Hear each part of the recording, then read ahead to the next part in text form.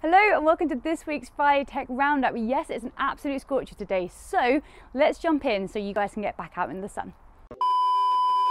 Number one, there's been a lot of talk around NPS scores, improving the customer experience, and also omni channel. But there's been little talk around the omni customer, and this is where John In comes in. So, John is our in house customer experience product owner, and he has over 30 years' experience in the IT industry.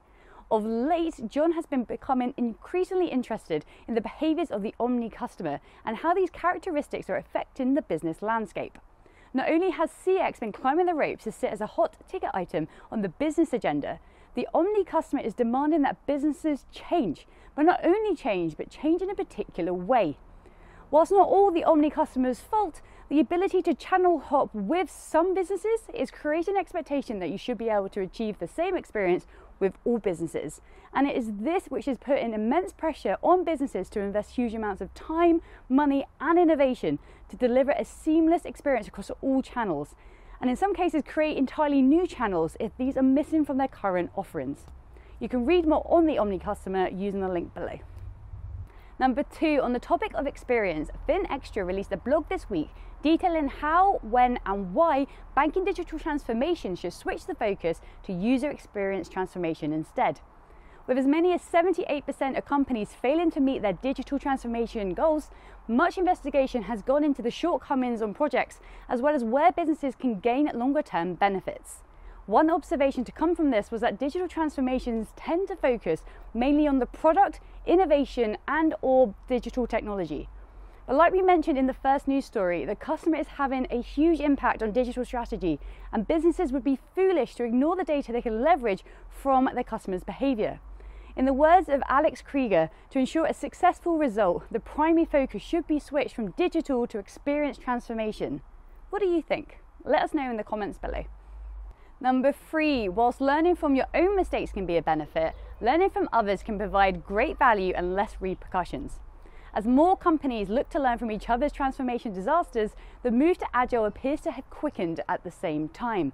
This has left traditional testing services in a tricky position, and it's this position that Adam Petman discusses in a case study opinion piece published by DevOps Online.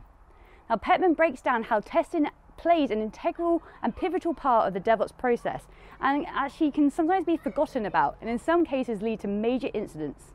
Some of the themes that Patman discusses draws parallel with those raised by our own team in last week's Ask Me Anything session. The main takeaway being from both that testing should be implemented earlier and with more care and due diligence by organisations that wish to launch their products more smoothly. Discover more using the links below. Number four, much like the humble potato chip, DevOps is fast becoming a stronger offering in the company of other methodologies and practices.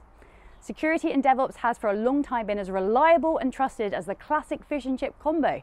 And now cybersecurity and DevOps have formed a critical collaboration, the gourmet burger and triple cooked chips duo, if you will.